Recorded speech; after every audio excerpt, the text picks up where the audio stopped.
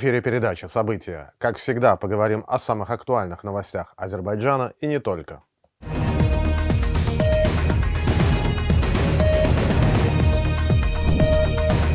Сегодня мы стоим на этой площади. Ильхам Алиев разжег праздничный костер в Ханкенды. Разные страны, разные цели. Генсек НАТО совершил турне по Южному Кавказу. Расстрел вместо концерта. В Москве произошел чудовищный теракт. В ожидании часа X. Европейцы готовят группировку для отправки в Украину. Вашингтон против операции в Рафахе. Госсекретарь США Блинкен снова отправился на Ближний Восток. А теперь об этих и других новостях недели более подробно. В Азербайджане отметили Новруз Байрам. Президент Ильхам Алиев по этому случаю посетил освобожденный Ханкенди, на главной площади которого разжег праздничный костер. Глава государства подчеркнул, что это большое счастье и добавил, цитирую, «Именно на этой площади разрабатывались подлые планы против нашего народа. Именно в этом здании были даны приказы для совершения ходжалинского геноцида. А сегодня мы стоим на этой площади. Хочу сказать моему дорогому народу, что я назвал эту площадь площадью Победа. Отныне это площадь Победы. В Баку на уходящей неделе побывал генеральный секретарь НАТО Йенс Столтенберг. Азербайджан ранее недвусмысленно заявлял о том, что страна не стремится стать участницей этого альянса. Поэтому визит Столтенберга носил характер закрепления тех стабильных и уважительных отношений, которые стороны нарабатывали в течение долгих лет. Параллельно с визитом Столтенберга в Баку, помощник президента Азербайджана Хикмет Гаджиев отправился с визитом в Китай. Баку тем самым еще раз продемонстрировал, что продолжает курс на равноудаленность от всех центров силы, и что Китайская Народная Республика не меньше, чем Европа и США, дорога нам в качестве партнера. Гаджиев провел в Пекине ряд встреч, которые наверняка закрепят тренд на усиление партнерства между нашими странами. А генсек НАТО тем временем продолжал свой вояж по Южному Кавказу. Сначала он полетел в Тбилиси, где назвал Грузию одним из ближайших партнеров НАТО и обещал грузинам принять их в альянс, но не сразу, а после того, как в стране будут осуществлены реформы в области верховенства закона, в том числе свободные открытые парламентские выборы. Весьма странное заявление, очевидно призванное замаскировать нежелание Запада заниматься Грузией. Впрочем, это только на руку правящей партии «Грузинская мечта», которую оппозиция обвиняет в непоследовательности курса интеграции с Западом. В Ереване же Столтенберг заявил, что, цитирую, «благодарен Армении за солидарность по вопросу Украины», как будто повязывая армян круговой порукой, не оставляя им пути отступления в отношениях с Москвой. Да и Пашинян особенно не подбирал выражения. Цитирую, «Мы заинтересованы в углублении нашего сотрудничества с НАТО и я надеюсь, что индивидуально разработанная для Армении программа будет принята как можно скорее. В армянской столице Столтенберг еще раз призвал Ереван и Баку в ближайшее время подписать договор, который, цитирую, «откроет путь к нормализации отношений и принесет устойчивый мир народам». Как можно убедиться, в нарративе Столтенберга нет рассуждений о мнимых угрозах Армении со стороны Азербайджана. И это внушает осторожный оптимизм, что позиция определенных кругов на Западе – стремится к конструктивности. Впрочем, Пашинян тут же полетел в Брюссель на международный саммит по ядерной энергетике, где встретился с французским президентом Макроном и, очевидно, получил от него новую порцию наставлений. Хотя и на этом треке забрежила надежда на отрезвление Европы. Макрон на том же саммите заявил о необходимости объединения электросетей ЕС с партнерами на Балканах и Кавказе. Согласитесь, трудно сделать это, сохранив напряженность в отношениях с Азербайджаном, который к тому же и будет главным поставщиком зеленой энергии в Европу. Некую конструктивность, правда, в свойственной ему эксцентричной манере проявил и сам Пашинян, который припугнул соотечественников войной в конце недели. Кстати, неделя еще не закончилась. В случае, если Армения не пойдет на соглашение с Баку по вопросу азербайджанских сел, все еще находящихся под контролем Еревана.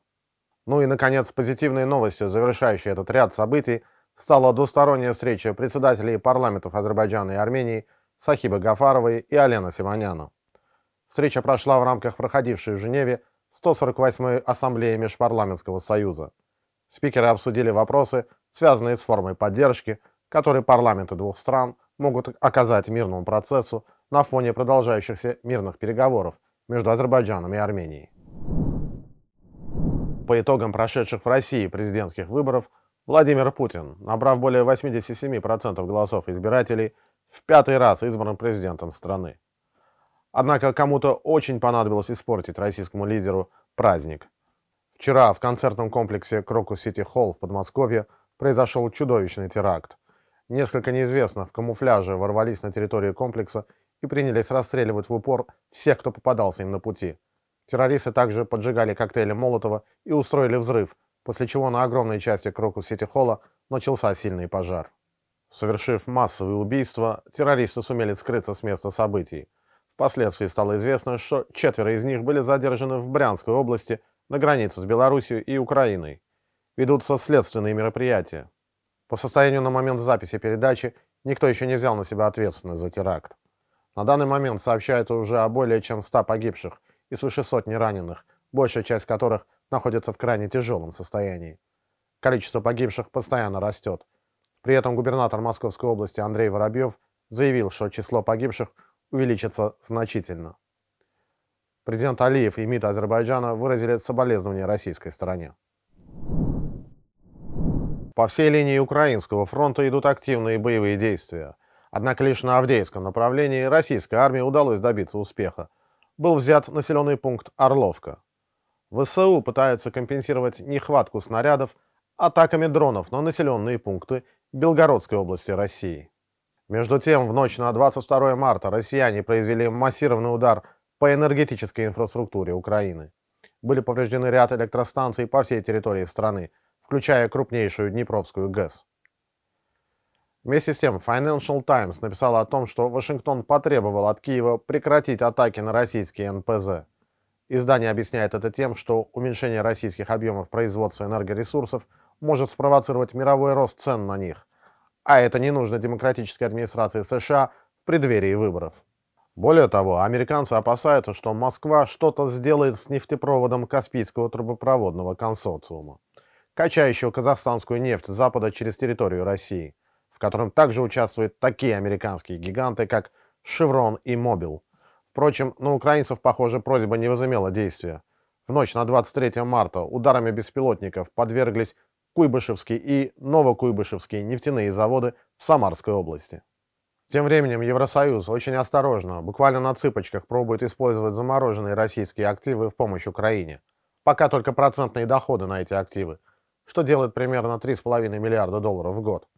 Эксперты говорят, что дальнейшие действия будут зависеть в том числе и от того, как на этот первый шаг отреагируют владельцы счетов в западных банках из других стран, например, государства Персидского залива. Однако любопытнее всего себя ведет Франция. Вот уже месяц Макрон и его министры то говорят, что будут воевать с Россией, то заявляют, что не будут. А на уходящей неделе пламенные друзья Украины даже показали Киеву хищнический оскал. Вместе с Китаем, Австрией и другими странами Франция потребовала от Украины отменить список спонсоров войны, в который входят компании, сотрудничающие с российским ВПК. Причина такого требования цинично проста. В этом списке есть и французские компании. Параллельно Макрон поделился предчувствием, что падение Украины может случиться очень скоро. Об этом сообщило европейское издание газеты «Политика» со ссылкой на источники. Ах да, при этом Макрон не забыл сфотографироваться в образе потного боксера с надутыми от гнева бицепсами. Впрочем, обильное использование фотошопа для создания французского мускула номер один не должно вводить нас в заблуждение относительно неготовности Запада к военным действиям. Вполне вероятно, что Запад действительно готов к плану X и вступлению в войну, но не для того, чтобы помочь сейчас Киеву воевать за Донбасс или Запорожье, а с целью не дать россиянам в случае прорыва линии украинской обороны продвинуться дальше на запад, и в частности в Одессу. Очевидно, НАТО не хочет допустить завоевания России Черноморского побережья Украины, ведь именно в атаках ВСУ на Черноморский флот России западные страны предоставляли самую действенную помощь. Одна из целей Запада – сковать Россию в западных морях и таким образом не дать ей сохраниться в качестве великой державы, во всяком случае, директор службы внешней разведки России Сергей Нарышкин заявил, цитирую, «Российская сторона располагает данными, что Франция уже готовит воинский контингент для отправки в Украину. На начальном этапе он составит около 2000 человек. На уходящей неделе израильская армия провела очередную операцию в больнице Ашифа в Газе, в ходе которой взяла в плен около 650 бойцов различных палестинских группировок. По данным израильской стороны, среди захваченных в плен есть и высокопоставленные члены Хамас и группировки «Исламский джихад». Ранее сообщалось, что во время операции в больнице были убиты более 140 бойцов палестинских группировок.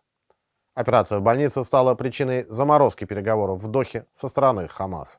Госсекретарь США Энтони Блинкен совершает турне по Ближнему Востоку с целью обсудить переговоры о прекращении огня, освобождении заложников, удерживаемых в Газе, американское неприятие военной операции в Рафахе, которую готовится провести Цахал, и увеличение гуманитарной помощи в сектор Газа.